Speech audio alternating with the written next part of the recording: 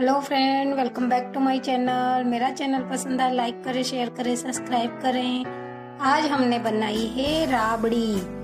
मक्के की राबड़ी है ये। सर्दियों के मौसम में खाने में राबड़ी ना हो तो खाना अधूरा सा लगता है। हल्की हल्की सी ठंड और गरम गरम राबड़ी।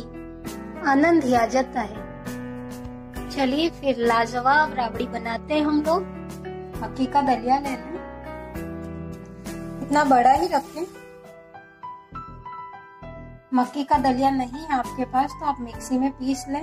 इसे कुकर में डाल करके और उबालते वक्त इसमें नमक डाल दें। नमक से ये जल्दी सॉफ्ट हो जाता है और दो से तीन सीटी ले लें। पकने के बाद ठंडा कर लें इसे। ठंडा करने के बाद इसकी राबड़ी बनाएँगे। उबाल लिया है। अब इसमें छाछ मिक्स करेंगे। ध्यान रखें छाछ ज़्यादा खट्टी ना हो। मेरे पास ये दही की छाछ है। दही की छाछ का यूज़ करते हैं तो स्वाद अच्छा आता है। ना हुआ जीरा लें, इससे स्वाद अच्छा आता है इसमें।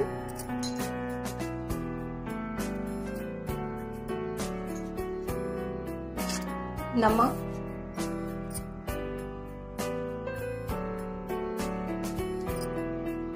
काला नमक। ज़्यादा ना डालें, थोड़ा सा ही।